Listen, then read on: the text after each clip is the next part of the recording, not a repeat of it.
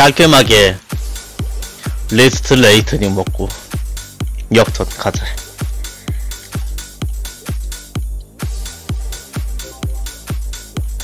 어, 아 이거는 왜 안 좋아?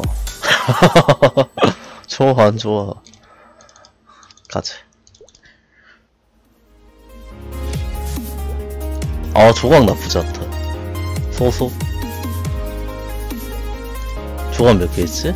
세- 어, 세 개 살 수 있을걸? 좋아. 2급 상자. 까, 까도록 하겠습니다. 짜잔!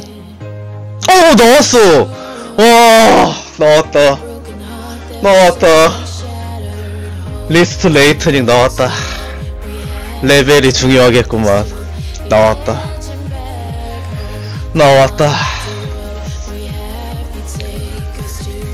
하나 더 까고 나왔다.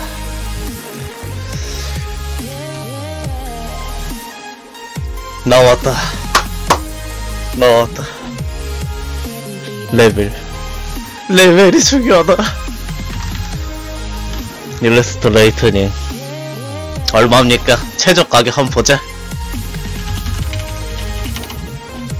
아, 아, 1렙, 4렙, 1렙짜리 5천만원 밖에 안 해?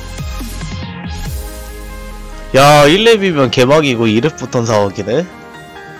야, 4렙짜리 70억인데. 야, 차이 어마무시하다. 어마무시하다.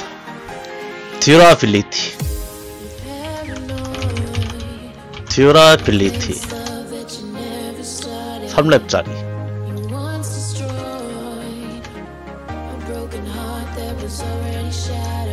3렙짜리 2천만원 어 2천만원 팔면 같고. 야 레벨 중요하다. 여기에 발판이다. 와 나왔다. Crisis H. 강 나왔다. 아! 아 1렙 본것 같은데? 아 3레벨 nice. 어 nice. 소소하다. 야 3렙짜리 소소하고. 17억 18억 이거 아니잖아. 3렙 어딨어. 야 20억 소소하다. 아쉽지만은 만족할 만하지. 20억 정도 팔면 될 것 같은데?